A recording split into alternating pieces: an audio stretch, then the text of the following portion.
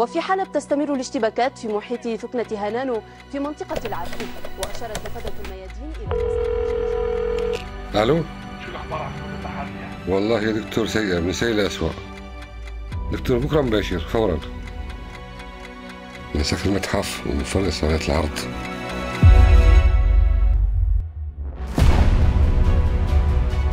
المخاطر كانت موجودة في سوريا. الموضوع ممكن يتعدى موضوع التفجيرات ممكن يصير في فوضى ممكن في ناس تدخل للمتحف.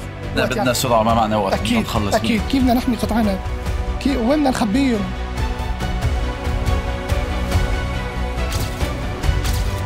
صار هطول القذائف على محيط المتحف مثل زخ المطر. يعني الموضوع صار شبه يومي. يعني بدنا نتسابق مع الحدث يعني إيش بدنا بدنا نلاقي طريقة.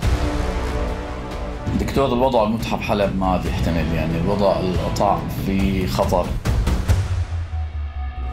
هل نحن قادرون على نقل حوالي 24 ألف قطعة أثرية إذا بتروح بيروح بيروح تاريخ سوريا. يا دكتور هذا الموضوع يعني فيه مجازفة كبيرة. ما هو بهالبساطه يا حبيبي أخذنا إحنا قرار نهائي. خلاص بنقل القطاع. مباشر فورا إنه كيف نحن بهذا الوقت القصير بدنا نحاول نضب قطع متحف كامل. ما عندنا مواد يعني نحن ما عندنا شيء حتى نقدر ننقل فيه ما عندنا نقدر نحن نغلف فيه.